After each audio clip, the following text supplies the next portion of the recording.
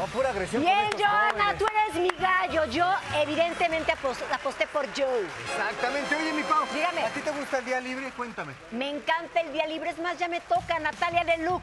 Dame mi día libre, ¿no? Un día de estos te lo voy a dar. Ándale, ¿eh? por favor. Todo el día libre. Oye, pero fíjate que en este día libre hubo una tragedia eh, bastante fuerte. ¿Tú te imaginarías perderlo todo en el 85 en el temblor? Sí, fíjate que lamentablemente muchas familias vivieron eso, pero ¿qué tal con el esfuerzo de los mexicanos? Como todos siempre salimos adelante. Exactamente. Por eso don José no perdió la alegría. Y mira, chécate cómo nos la pasamos. Vamos a ver. Entonces el día libre lo negociamos, Oye, ¿no? sí, no, dime. en esta ocasión el día libre se lo daremos a un señor que siempre anda, miren. Bien China, ¿quieren saber de qué se trata? Vámonos del otro lado del estudio. ¿Cómo le va, don José? Dice, buenas tardes. ¿Todo tranquilo y en su lugar? Sí, aquí trabajando ¿Ustedes de a qué hora empieza a chambear? desde las 8 hasta como a las 5 o 6 de la tarde. ¿Y cuán- qué es lo más complicado de su trabajo? Agarrar clientes, porque está muerto. Y luego ya muchos con tenis. Luego con tenis, todos los jóvenes ya no conocen el zapato. Pero aún así los tenis los traen bien mugrosos, ¿verdad? Sí, Los pero traemos. los lavamos ya. Ahora ya, ya sale un producto para lavar los tenis. Sí. Y además usted siempre impecable para trabajar.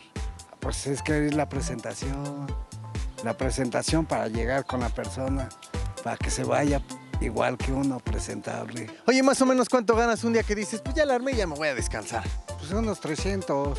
Bueno, ¿cómo ves si yo te doy esos 300, 400? Es más, ahorita nos echamos un volado y te invito a comer, tomar algo porque hace calor. Va, se lo acepto. Órale, pues entonces vamos, yo pongo los 30 y tú los 25, ¿o ¿cómo era? Ay, ay, ay, cielito lindo, mira, hasta con serenata y todo, ¿eh? Eh, no que no me querías. Ya viste que sí, hasta derechito ya estás, mira. Y tú tienes hijos, esposa. Mi esposa y un hijo. Eh, ¿Desde cuándo le das a la boleada? te digo que yo desde el terremoto del 85, 34 años. ¿Y por qué comenzaste? ¿Porque trabajaste en otro lado o qué onda? No, yo perdí a mi familia en el temblor del 85. Me- vivíamos aquí en la Doctores. Y ya desde ahí pues me quedé solo y ya empecé a trabajar. ¿Todos, todos? Mi papá, mi mamá, dos hermanos y una hermana.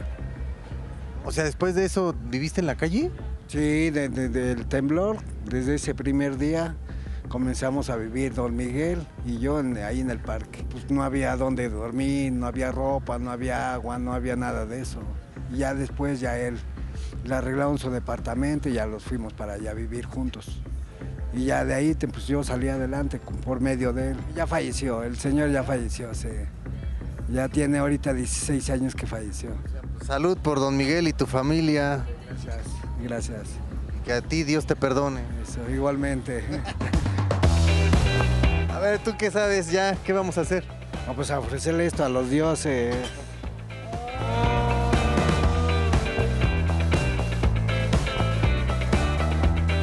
Te quedó re buena. Pero más a ti te quedó mejor, más sabrosa. Ahí nos damos un llegue.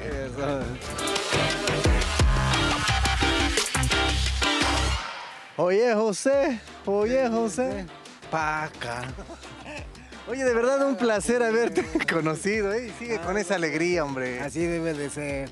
Uno nada más se vive una sola vez. Pues nosotros regresamos al foro y sale el sol. Ah, no, y de veras, tu día libre, ¿izquierda o derecha? Derecha. Como si siempre fueras a la derecha, ¿no? Dos mil varos, mi buen José, para que ya te tomes el día libre. Gracias. Ahora sí voy a comer patas de pescado capeadas en el mar de Tlaxcala. Bueno, pues ya invítame a tu playa, vente. Sí, vente, Yo vámonos. También pido esa pata de pescuezo.